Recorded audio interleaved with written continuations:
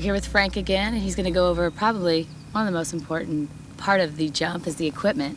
So uh, tell us a little bit about it. Um, one quick question. You guys only have just one chute, right? Right. You don't have a, uh, a second one. No. So Um, it's in one skydiving, you have to have a reserve, but in base jumping, we tend to open so low Right. that uh, a reserve would only complicate the system. We wouldn't have time to, to deploy a reserve safely. Right. So uh, one parachute basically simplifies everything and makes it a, a much simpler operation. There's less parts, so it's much more reliable. Really? I think there'd be much more risk if Uh, you just, I mean, you only have one chance.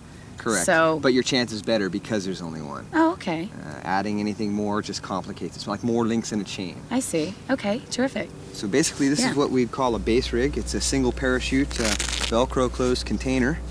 And uh, the way pretty much all parachutes are deployed is with a pilot chute that I Mm-hmm. Have stowed right here. I throw the pilot chute out. Okay, it's it inflates and pulls the main parachute out of the container. Right. How much time do you have, like after you jump? Usually, how much time from the time that you jump until you land? It depends on a number of things like Right. the altitude of the object Right. and the way you pack your parachute Right. and where you have to land and the prevailing winds and all the good stuff like that. Right. But um, generally, we pack uh, a certain way to take about a three-second delay. Wow. Then we can pack another way to take uh, an infinite number of seconds. You know. Awesome. That's terrific. Yeah. Do you pack your own chute? Definitely always, Always. pack my own chute, and I definitely always wear a helmet. It's a really good idea to wear a helmet. You'll either you'll either learn by somebody telling you, or Sure. you'll bump your head and learn. Yeah. Either way, you'll end up wearing a helmet. Have you ever uh, fallen? Have you ever like taken a hard fall? I have actually been uh, pretty pretty fortunate, you know, Good. and uh, haven't had any serious injuries jumping. Excellent. That's excellent. So, anything else that we need to go over? It's time to jump. It's time to jump. Okay, so I think we're gonna climb, and then Frank finally gets to jump. How's it going, anything viewers? We're back here with Frank. We're gonna say a few more words and we're gonna watch him do his stuff. Um, what's it like sitting at the top of that tower, you know, 500,000, 2,000 feet off the ground and, and, you know, looking out over everything and hoping that everything goes right? You ever get scared? Um, never actually get scared. I think there's a big difference between scared and controlled fear. Yeah. You always have controlled fear, but it Yeah. makes you focused and aware of the significant issues Yeah. at hand, as What opposed to what you're going to have for dinner or things like that. So uh, you always have controlled fear. If you weren't, if you didn't have any fear, you'd be either crazy or or stupid. Yeah. Yeah.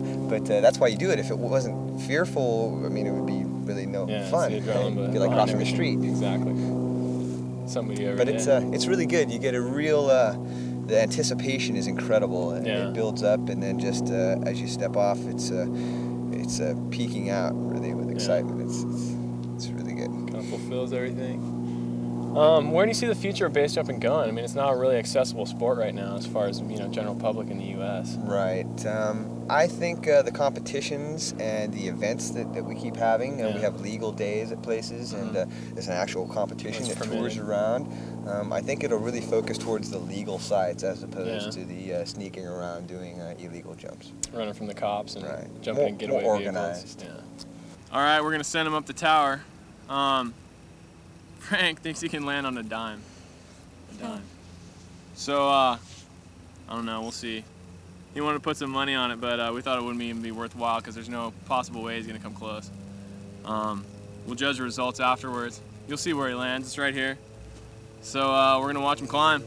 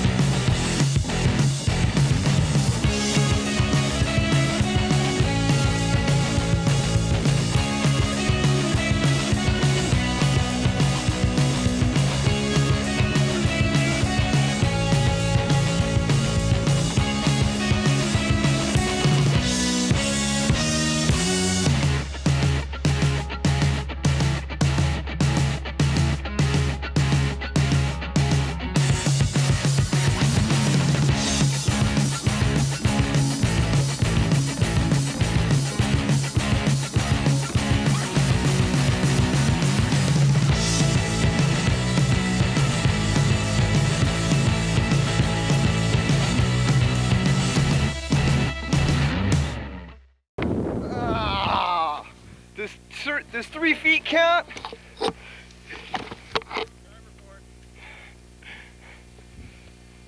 The dime. Oh, bud. Very nice. Close, but no cigar. Holy shit. There. That was insane. Glad you liked it. That